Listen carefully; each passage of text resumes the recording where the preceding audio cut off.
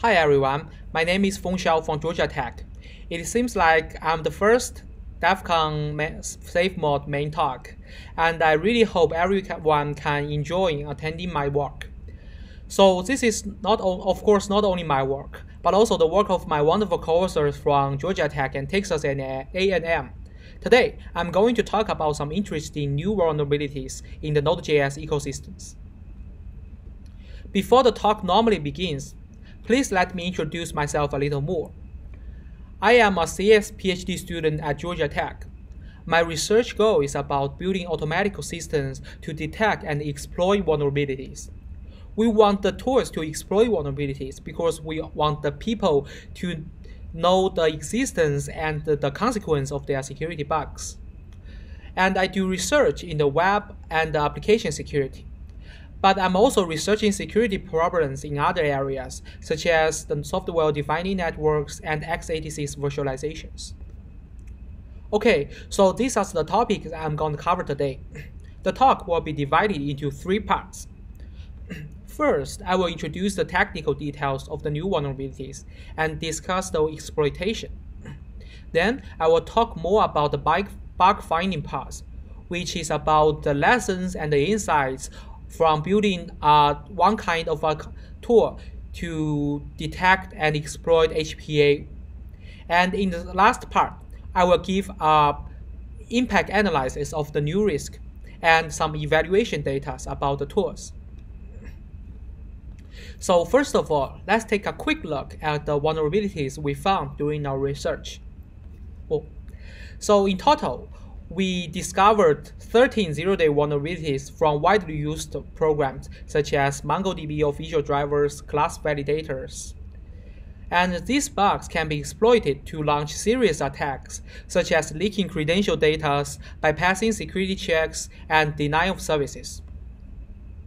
So before we touch the technical details of these vulnerabilities, let's have a brief background introduction about the Node.js. Node.js is for executing JavaScript code outside of browsers. The picture on the right is the overall system diagram of Node.js. To interrupt and execute JavaScript, the Node.js implements a runtime engine based on Chrome V8 to satisfy the needs of the host, the server-side languages. The, the runtime engine also provides a set of API to let JavaScript interact with the host environment. By providing such uh, APIs, the JavaScript code can access the host environments like any other server-side languages. For example, he can read and write file systems or execute, execute system command. So Node.js is pretty powerful. Nowadays, many websites are deploying Node.js. For example, Node.js are intensively used in companies like PayPal and LinkedIn. Also, we are all using a lot of Electron apps, such as Skype or Discord, and such Electron apps are also based on Node.js runtime. Within so many Node.js applications, the web-based app are the one of the most common types of Node.js programs.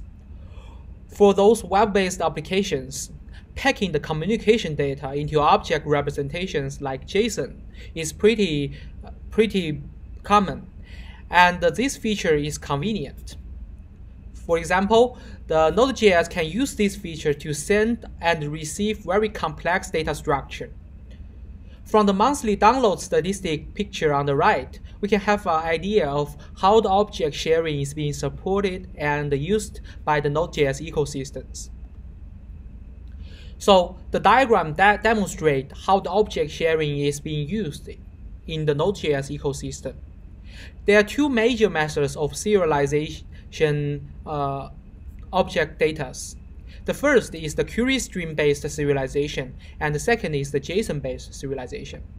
As shown in the picture, if the user wants to update the age information in the Node.js web, he can send his data either via a standard query string in the URL or a JSON string in the request body.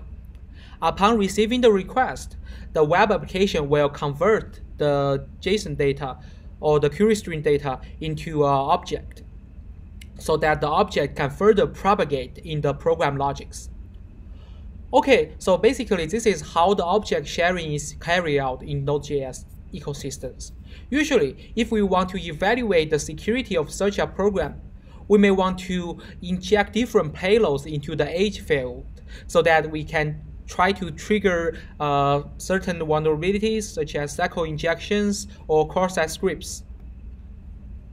However, what if we choose not to test the existing data field? Since we can pass an object into the program, what will happen if we inject additional properties that are not expected to be received by the server program? In particular, if an attacker can send the properties that forge or overwrite the certain internal program states, the attacker may easily obtain dangerous abilities to manipulate the key program logics. So we are going to introduce the hidden property abusing, HPA. So the hidden property abusing leverage the object sharing in Node.js to tamper or forge critical program states.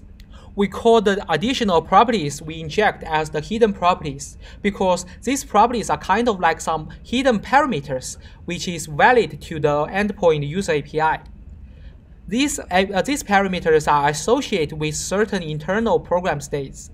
However, nobody knows their existence until an attacker leverage HPA to tamper the states. In this talk, we mainly focus on the server-side scenarios, where a remote attacker wants to attack the Node.js web applications or some microservices.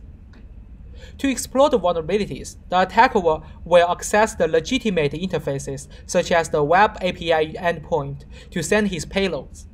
In most cases, the attacker payloads should be in the form of plain object, which is the simplest object re representation in Node.js. During our research, we discovered two types of typical attack vectors of HPA. We call the first one as the app-specific attribute manipulation. This one is for manipulating certain internal properties defined by the application themselves. Such internal properties are supposed to be initialized and managed by the internal functions.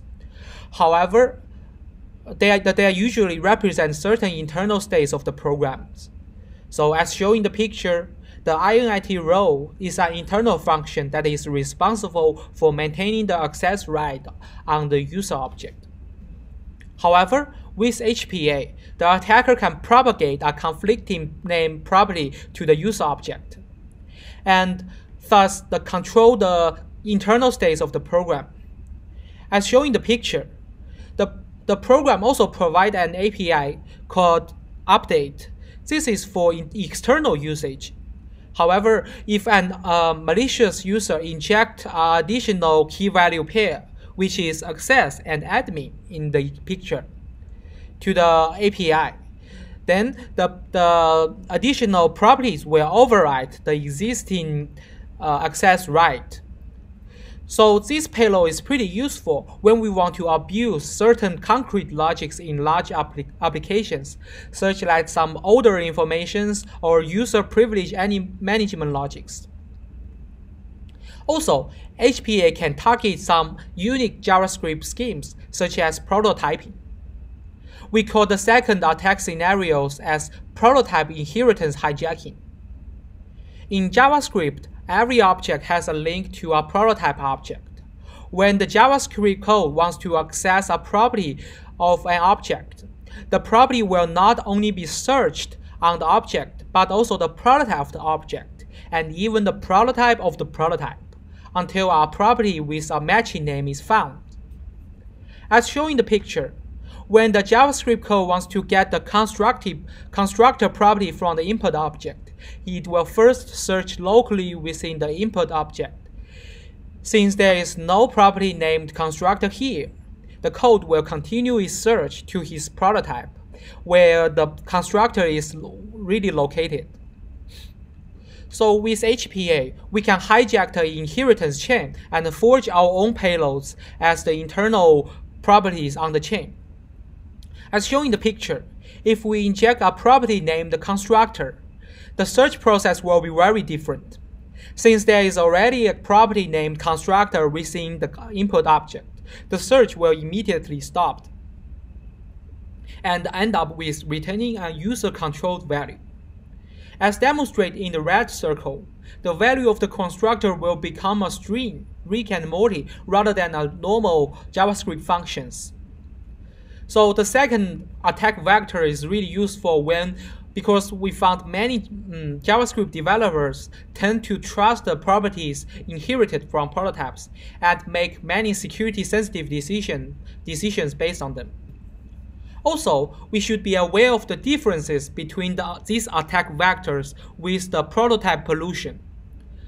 The two, uh, the two attacks totally different.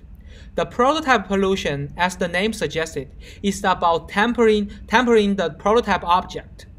However, our attack uh, vector does not modify the prototype object. The root cause of the HPA is that the Node.js fails to uh, isolate the unsafe object, such as the user input from the critical internal states. So to make a clear classification, the HPA can be seen as a new security risk under the common weakness category 915 whose child uh, variants are all about improper modification of the dynamic object attributes. As shown in the hierarchy tree on the right, there are some similar issues on other language platforms such as Ruby mass assignment, the PHP object injections. Although these variants share the same behavior feature dominated by 915, they all have their common their own data patterns due to the language differences. For example, the, roof, the Ruby mass assignment is a set of vulnerabilities discovered in widely used Ruby web application framework called Ruby on Rails. Unlike HPA, the attacker does not pass objects into the program. Instead, the attacker abused a framework-specific assignment feature in Ruby on Rails to modify certain existing objects on the right side of the assignment.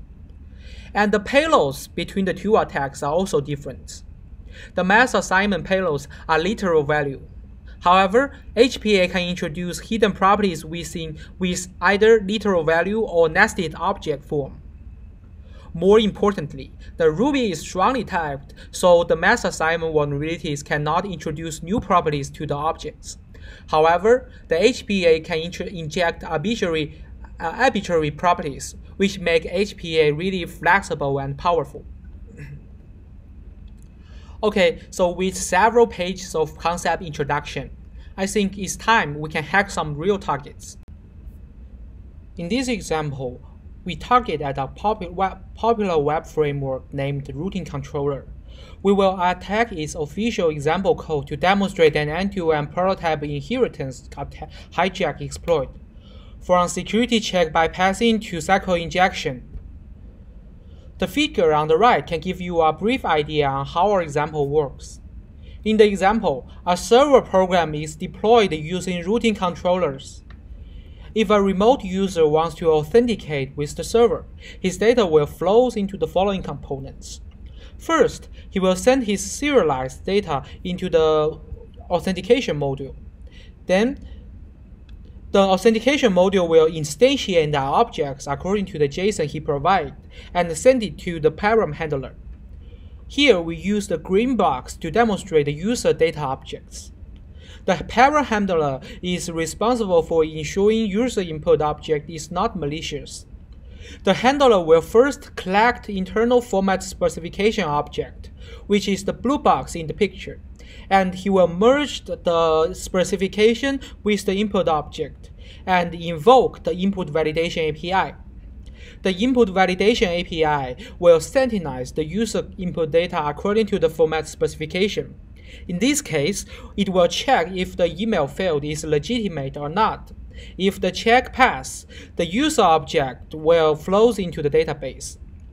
Okay, so this is the overall data flow. Let's analyze how we can attack the logic step by step. So the first step is the hidden property injection, in which the malicious attacker injects a hidden properties in his request, which is the constructor in this case. As shown in the picture, when the server program instantiate the user object, there will be there will be an additional pro uh, property named the constructor, which is a payload for bypassing the input validation module. So in the second step, the program will prepare the parameters needed by the input validation API. The server program will merge the user input, which is the param, with the which uh, with our object named the schema. The merging operation is carried out by putting every property from the param objects into the schema object. So this process is very much like object assign. To simplify the demonstration, let's just use object assign in this example. By performing search uh, merging operations, the hidden property constructor will also transform to the schema. And uh, after the transformation, we now can hijack the inheritance of the constructor on the schema. Actually, the constructor of the schema plays a very important role in the input validation module.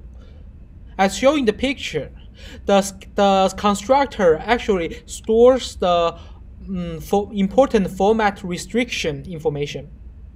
As a result, the merging operation enables us to hijack the inheritance of these important format restrictions.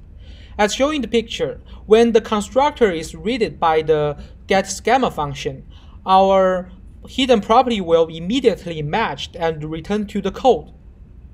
To bypass the input validation, we just need to set the format specification as an invalid value so that our SQL injection payload can escape the check.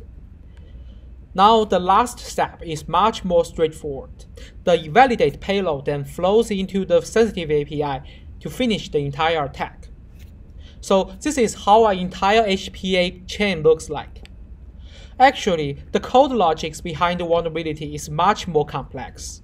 For example, the input validation module contains 30,000 30, lines of code.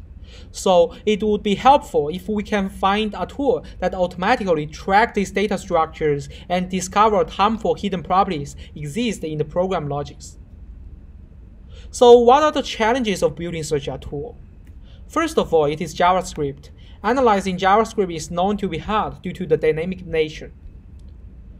And second, HPA is a tag that creates unexpected and new data dependencies. However, program analysis usually um, such as data flow tracking is mainly for analyzing the existing flows. Third, from our run examples, we can observe that HPA tempers internal program states. So the attack effects highly depends on the roles of the compromised states. This makes the detection more challenging. To overcome these challenges, we design and implement Lynx, a hybrid JavaScript program analysis tool, to detect and exploit HPA vulnerabilities. Lynx mainly consists of two components. The first component on the left is for identifying potential hidden properties. It combines, it combines dynamic data flow tracking and static syntactics analysis to track all the user input and infer potential candidates. And the components on the right is for detecting the harmful hidden properties and generate exploits for them. To help future Node.js security research, we decided to open source our Lynx project at the GitHub, GitHub links uh, in the bottom. So if you are interested in the technical details, you can check it in the GitHub report. So the very first things Lynx will do is dynamic data flow tracking. First of all, Lynx will generate a label object, which is, which is a unique key and value pair. Lynx will inject the label into the U input data of the program. Since different properties from the input object may flow into different program logics, we want to, and we want to track all these propagations. So we perform the, object, the label injection in a recursive manner. That is, as shown in the picture on the left, Lynx will generate three different inputs by label injecting the original test case. In each time, Lynx will inject the label into a different properties. After the injection, Lynx will observe the program execution. We leverage a JavaScript analysis framework called Jalangi to instrument our test programs. Since we are studying the data flow, we instrument the variable reads and writes, object property indexing, and function calls. Then we execute the test program. During the execution, Lynx will examine every object within the data flow. If an object carries our property labels, we will record it for further analysis. So now we have a list of property carriers. Recall that the, an object is flagged as a property carrier because we detect our injected label under his body. So if we can propagate, propagate our label here, maybe we can also propagate uh, another malicious um, property here also. More specifically, if we can inject a property that has a conflicting name with certain internal property the program has, maybe we can control that property by overwriting them. So now we want to extract all the child properties from the original programs of the property, property carriers and flag them as hidden property carry candidates. To achieve this goal, we need to static we, we need static syntax analyze to extract the necessary syntactic information from the code. The picture on the left right demonstrates how we parse our statement from our running example. Lynx will traverse the syntax tree until reaching a property carrier which is circled by the red line in the graph. Then it records all the properties under the carrier. In, in our case, the hidden property candidate is the constructor. So here is an output uh, screenshot of the first component. As you can observe, well, the Lynx will first instrument the code base, and then we tracked 43 property carriers. As indicated by the red circle, Lynx successfully detect a hidden property named constructor. So in previous component, we discovered the key name of the potential hidden properties. By injecting a property with the same key, we might override certain internal states. However, we still don't know whether the candidates can be controlled or not. And we also don't know how to introduce attack effects with these candidates. So apparently, Lynx could do more. Let's revi revisit our running example to see if there is any insights to help us to de design such an exploitation component. The figure on the left is the vulnerable code from our running example. As we have discussed many times, hidden property tempers internal program states, which means HPA exploitation highly related to the code context. So it is important to conclude a set of vulnerable sensitive behaviors. This behavior to should clearly indicate certain security consequences, so that we can decouple the harmfulness detection from the code context. Also, from the running example, the exploitation is mainly about manipulating the return result. Uh, more specifically, there are two possible paths here. If the execution enters the branch on line, line 19, we will get a validation failed. But we, if we can go into the line 21, we can successfully pass the check. So the exploitation point and the override, override point may not be the same place, which means we shouldn't stop our analyze at line 11 Instead, we should continue exploring all the possible paths that can be triggered by manipulating the hidden properties. So we studied and concluded six general types of sensitive sinks. Hmm. Due to the time constraint, uh, I will not introduce the details of each types. If you want to know more, you can check our Git report. So after defining our sensitive sinks, we want the hidden property to trigger as many as possible branches and monitor whether we can hit a sink. To achieve this goal, we use symbolic execution to explore all the hidden property value space. Lynx first generate an exploit template that can reach the potential hidden vulnerable property. We denote such data structure as an exploit template because uh, this is Lynx does not specify a concrete value in the, in the input. Instead, we insert a special placeholder which, is, which will be used by the symbolic execution later on. Then we run the test program with our constructed templates, thus, and the symbolically executing the hidden property. As shown in the picture, the Lynx will explore all the path constraints along the input path. And uh, once, if, if Lynx found that it, it had hit, hit a sink, for example, in this example, it hit, hit the sink I2. Then he will fetch the corresponding payload that can trigger the sink as the final exploit. So a little background about the sink I2 is the sink we define to detect that whether uh, our input can manipulate the return value of a module or not. So this is the output of the exploit module. From the circled area, we can observe that the key value pair uh, constructed 1 triggered the sink I2. In the last line, we can find that the Lynx successfully bypass generator exploit that can lead to the successful validation. So this is pretty much about how our system work. Let's see some interesting new results of our research. During our research, we choose 60 widely used programs from Node NPM. There are 55 modules and 5 web applications. And with the help of Lynx, we tracked more than 1,300 carriers and detected three, more than 300 hidden property candidates associated with those carriers. In the end, we confirmed 13 zero-day vulnerabilities. With the help of symbolic execution, Lynx even synthesize 10 exploits automatically. So how is the impact of these vulnerabilities?